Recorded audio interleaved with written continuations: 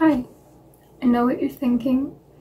That can't be my favorite YouTube star, Mary Merrikat MP3.